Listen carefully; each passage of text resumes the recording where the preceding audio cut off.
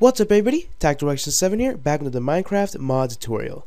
Today's mod tutorial will be on the Minecanical Gravity mod, and what this mod does is it adds three new blocks to Minecraft, which are the Attractor, Repulsor, and Gravitor. So let me go ahead and log into Minecraft here, and then hop into my world, and I will show you what these blocks do. So you can see here I have the Attractor, the repulsor, and the gravitor. And I also have these um, gravity boots, and these will make it to where if you're holding them or wearing them, you will not uh, feel the effects of these blocks. So I'll go ahead and turn them on.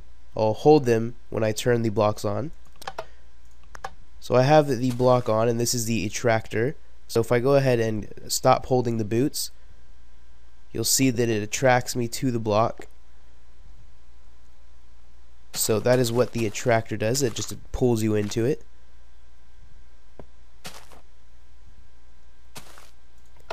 Now we have the repulsor, and this basically pushes you away, so the opposite of the attractor.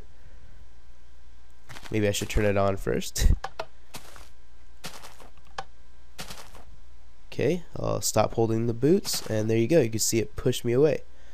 And you cannot get to it. It's pretty much impossible to walk to it. So again, I'll show you. Pushes you away. And then we have the gravitor.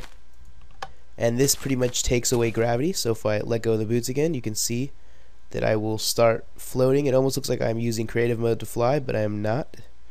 This is the effects of the block. Hopefully I don't die right here. That was close so you need to be careful, these can kill you. So to craft everything, if we go ahead and come over to the crafting table, you can see this is to create the attractor. And you put four iron ingots around the corners like this.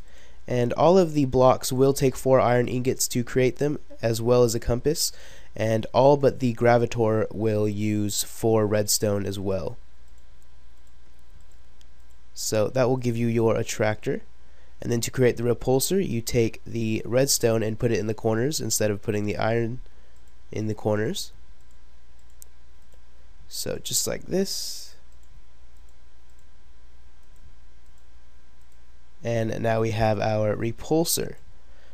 So now if I go ahead and hit O and load up the second load to create the gravity boots we need two iron ingots and two attractor blocks and there's our gravity boots.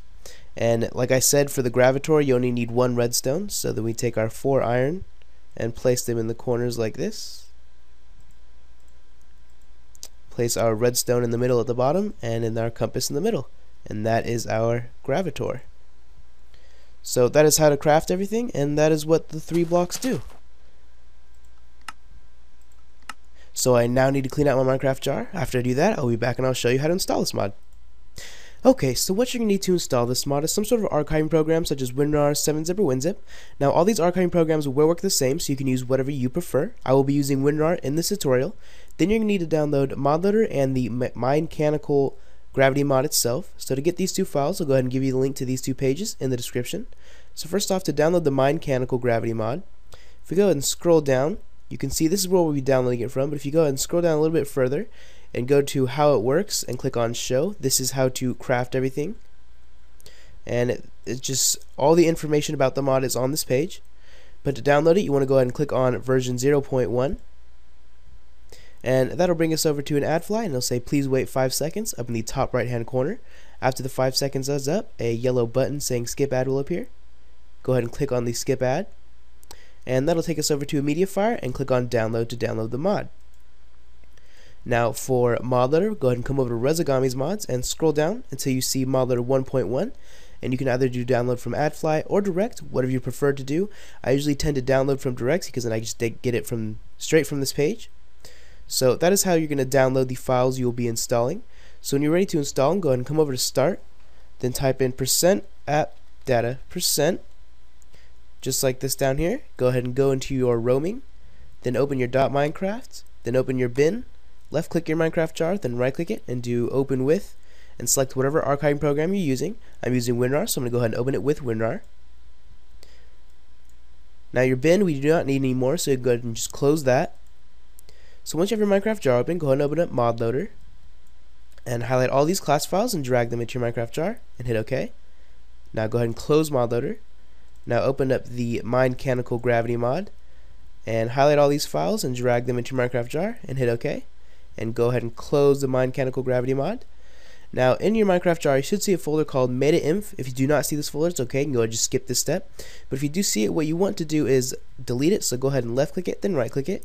Select delete files, then hit yes. And that'll delete meta-inf. You want to make sure you always delete meta-inf when you're installing a mod. If you don't, it'll cause Minecraft to crash. So after you delete meta-inf, you go ahead and close the Minecraft jar. And that's it. You're done installing the mod. So I hope this video helped you guys out. Thank you for watching, and I will see you guys next time.